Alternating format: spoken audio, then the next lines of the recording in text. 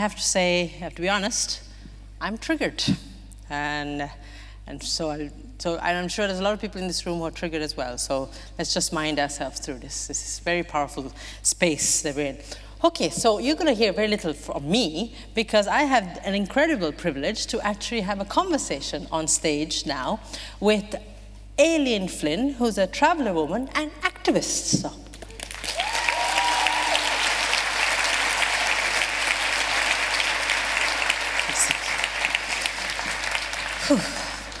First of all, how are you feeling? Um, I was here yesterday for a few hours and uh, this morning as well, and I have to say it's um, very, very powerful to hear the stories from both uh, women and men and from, um, from young people, you know, and to show that, you know, like even throughout the referendum, I'd always use a phrase that my mother would always say nobody knows the shoe is cutting them, only the person that's wearing them, you know.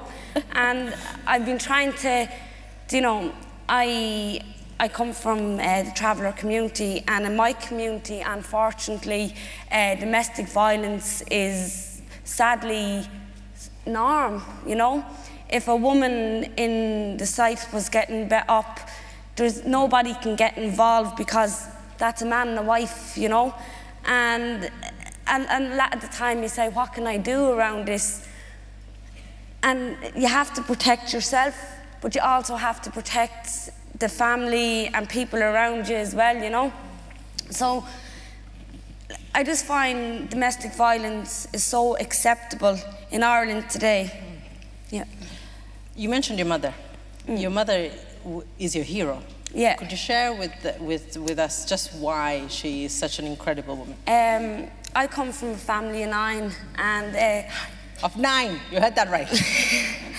and um, my mother is um, just gone 18 years um, dead, and I was only a child when she uh, passed away. But I remember how strong my mother was. Now, without going into my family detail and stuff because it's, it's very hard when you actually love your family and you're talking around domestic violence as well, you know.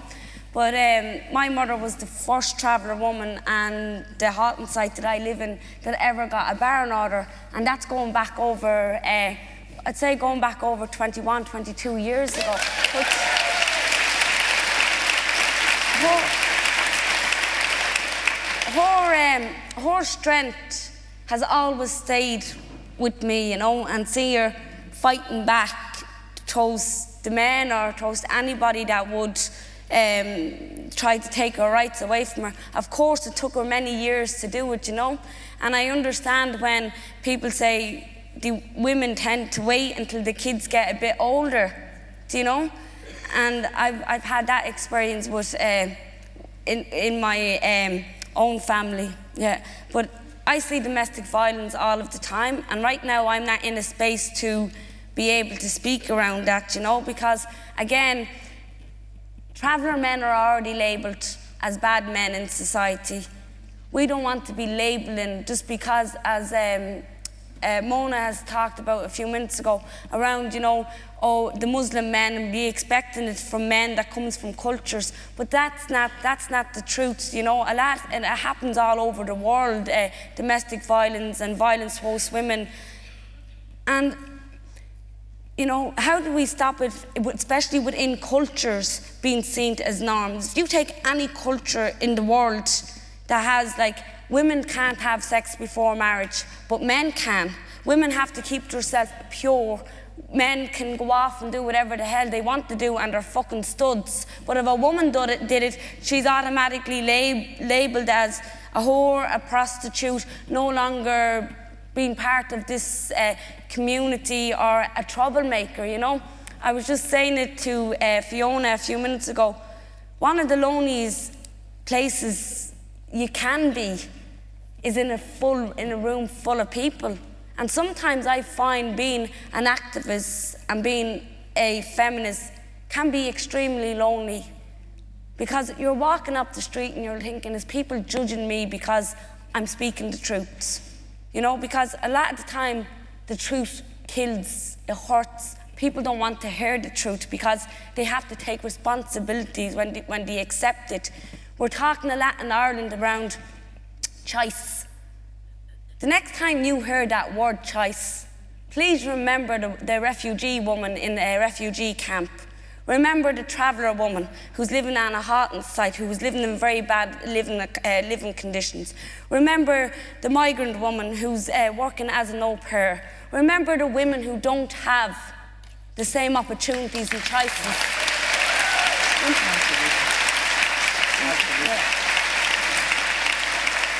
And in Ireland, like, I feel I'm part of an organisation, well, we don't get any money, it's called um, MERJ. It's uh, women's reproductive, migrant women and ethnic minority women's reproductive uh, healthcare.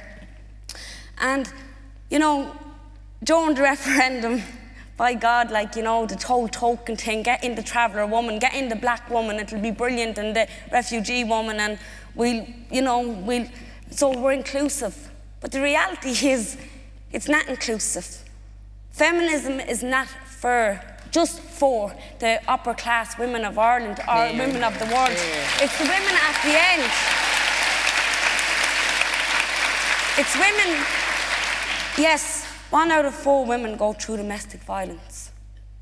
And no matter what class you come from, that woman is hurt. Them children that's living in that environment are hurt. In some cases, I'm not saying it's okay, they might have more privileges in getting away than a woman that comes from a cultural background that can't get away because of her culture. I'll give you all a story. Trying to support a woman from the traveller community in the halting site that I was born in. Ringing a refuge, uh, uh, ringing a refuge. No, not leaving her in. Her son misbehaved the last time. Oh, I swear to God, this, that, this is what happens in Dublin trying to get women into refuges. Oh no, should the traveller women just want to get away for a holiday? It's estimated that a woman will leave a man 46 times before she leave him for good. And that's if he doesn't even take her life beforehand.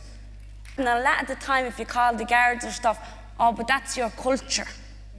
In the traveller community, society thinks it's culture that tra young traveller women get married young. That's not culture. That's sexual assault, that, that, that won't even young traveller women get married young. But yet, yet we talk about child protection and oh, all people who are saying that they're pro-life and they're looking after the, the, welfare of the child. Who's looking after 15-year-old women in Ireland today that's getting married? Children.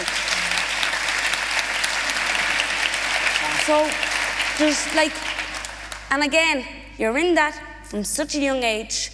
The control, the fear of not having money, the fear of not being educated to go out and get a job, the fear because you're already labelled as just a traveller. And then you're labelled as a woman. Of course, you're a traveller and you're a woman, but that doesn't you're inter, inter what do you call it? Intersectionality. So if a woman has five or six kids, like now uh, Alva was talking about a few minutes ago, Margaret Cash is really getting a really hard time at the moment. But we shouldn't take away to give that woman a roof over her head. We may not agree with going into Penneys and robbing, but my mother would always say that she would beg, borrow, or steal for her children. And my mother would, would say that, and you know something, I would do the exact same thing if I had to do it in society today, because society is not fair. And when we're talking about e e equality, oh, you're all the same.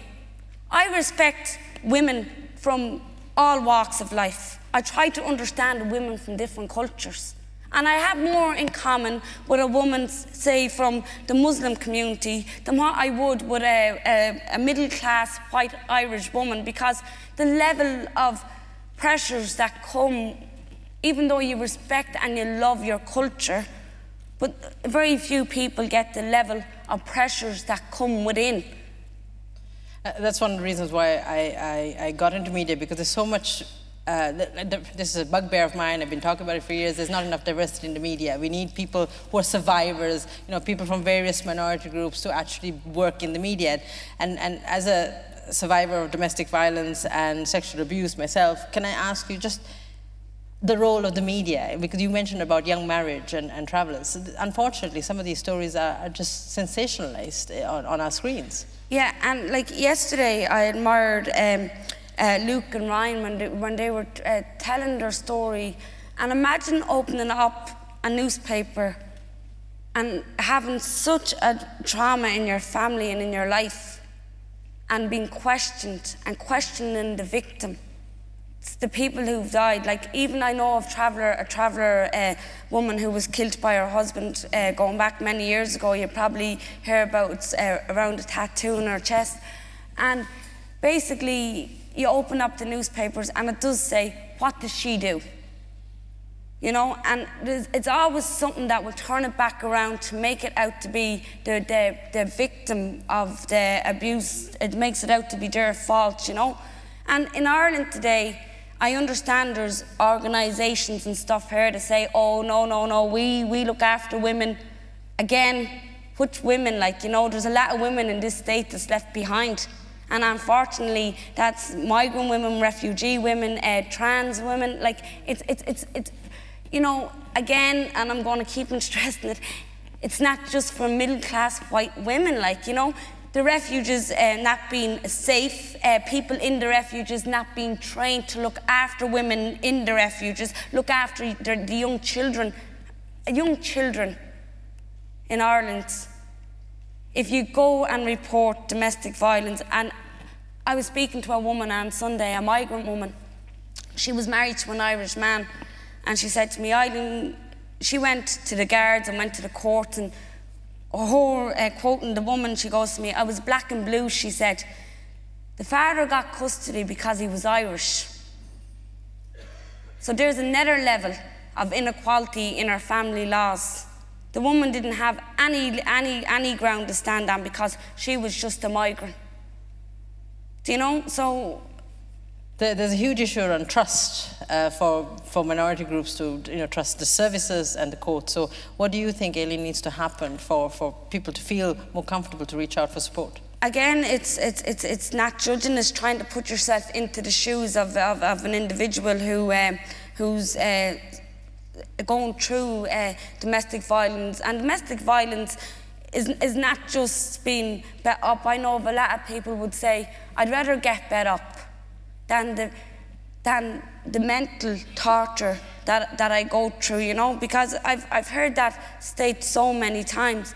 But the, the services, you know, make a lot of assumptions around, oh, the culture.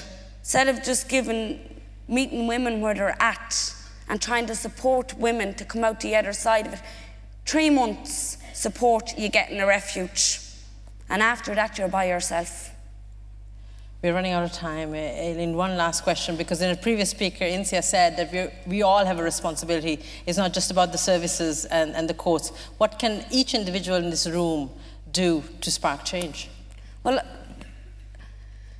again, it's, it's not to judge, and again, it's to think around when we talk about choices and look around the room and say, where's the women with disabilities the black women, the traveller women, the women at the end of society, where's their voices? Because the others, them, other women like them travellers, them refugees, them migrants, them lesbians, it's, it's all should be us. And we're all just as important as each other. We may be different, but we need to value that different, you know, and understand each other.